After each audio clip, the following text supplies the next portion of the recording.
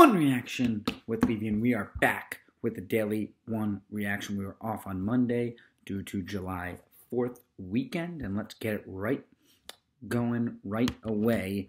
We had game one of the NBA Finals last night. Suns, Bucks. Suns won 118 105, and the story was Chris Paul. He made everything in that third quarter, and he dominated the Milwaukee Bucks. Giannis returned. That was the main story coming in.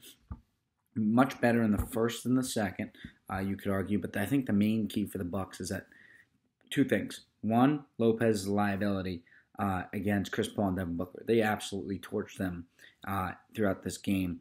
And then two, uh, they need more production and if they want a chance against for Middleton and Holiday, they got to step up. That's a must uh, to me. So you had all that, and you lost by 13. The success came when they went small late. Uh, I don't know how viable PJ Tucker is in this series. He didn't look great against Chris Paul. Paul blow right by them, by him. I think you got to put Holiday on Paul, and then put Forbes or someone. Forbes got torched by Booker, so I would kind of put maybe Tucker on Booker, uh, someone just to get in front of him, uh, get physical with Booker. That's what Beverley did really well. You got to get physical with Devin Booker. They did a decent job against him tonight, but I consider switching the two. Put Holiday on Paul, and then Tucker on Booker. In terms of Lopez, I don't know how much he's going to hold. Uh, I think it was just Ayton just being Ayton. He was unbelievable in this game. Unbelievable. Another double double. He's a top center guy and a guy that just does so much for this team without getting the basketball. Uh, terrific game from him. You gotta love what you see from the Phoenix Suns. They're obviously the favorite. The key for the Bucks is do they have a shot?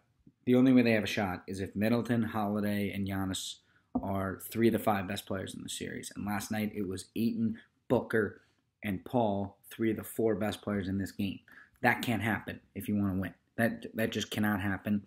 The Suns have better role players, so you got to have three of the five for the Bucks to be better. So it has to be Giannis scoring big time, 30 and 15, what he's been doing. Middleton, 25 plus, and Holiday at 20 plus. Uh, just ha- that's the blueprint for winning uh, with Lopez's struggles, with PJ Tucker's struggles offensively. That's the only way you win this series. To me, I don't see it happening. I do like the Suns in uh, five games. I posted that on my website. I've said it from the beginning.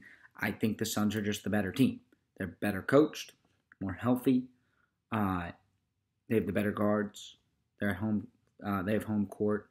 Uh, Bucks will want to steal game two. Obviously, that's going to be a tough one. Game two is the game where you say, okay, are the Suns really going to win in five games, or can the Bucks make this a series? Can they play them close? Because game one, of course, we got to factor that in. Uh, so if you're you're a Buck fan, you got to say, okay, it was game one. They're the more rested team. They were at home. They were going to come out and win. This is what they do. It's what you see in all playoff songs. You saw it in the Jazz Clipper series. You saw it in the Suns Clipper series. It doesn't mean a lot if you win game one, but there's a lot of concerns to me. I just think the Suns have multiple ways to win. But if you're the Bucks, the, the happy thing is that you shot the same field goal percentage as the Phoenix Suns made the same free, uh, field goals, number of field goals, but you just got outworked at the free throw line. And that's what's going to be uh, the key. Giannis is missing from the free throw line. Suns are the best free throw shooting team uh, in NBA right now. So I think the Suns win in five. Game two will tell me a lot if the Bucks even have a chance in this series. Let's move on. We've got Canadiens Lightning tonight.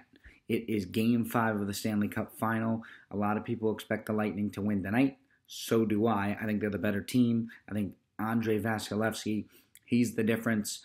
Canadiens got lucky in game four. You kind of see this with the Kings Rangers series. The team wins game four. They're way more desperate. Uh, game five at home. Even the mayor Tampa Bay was like, lose game four. We want to close it out in game five. I'm not saying you think like that, but I'm saying that was kind of probably in the back of the Lightning's minds, and they still forced it to overtime. So I kind of like the Lightning to win in regulation tonight to secure the Stanley Cup.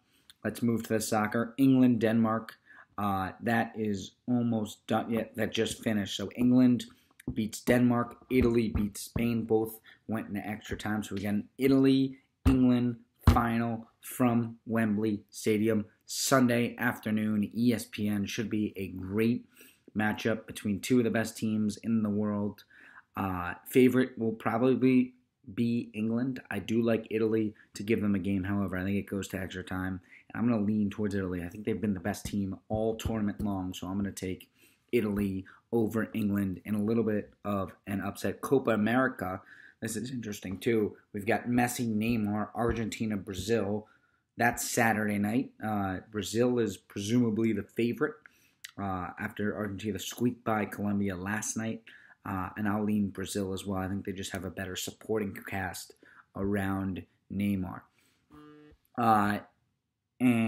I think that's it for the day. We've got uh, the match last night, which was cool to watch. A little slow for me. Uh, a little feedback from there. I think DeChambeau's hilarious. Rodgers, Brady throwing around the football. Rodgers getting asked questions. Uh, Charles, of course, great. I, I, just thought it was a little slow. I, I would have liked them to speed it up just a bit. It, it went to like nine, nine thirty. I just got bored by then, and it was over. So, and Brady's not that good of a golfer. Rodgers pretty good. Uh, and that is all for your sports recap. So one reaction, but leave you the daily one reaction here on July 7th.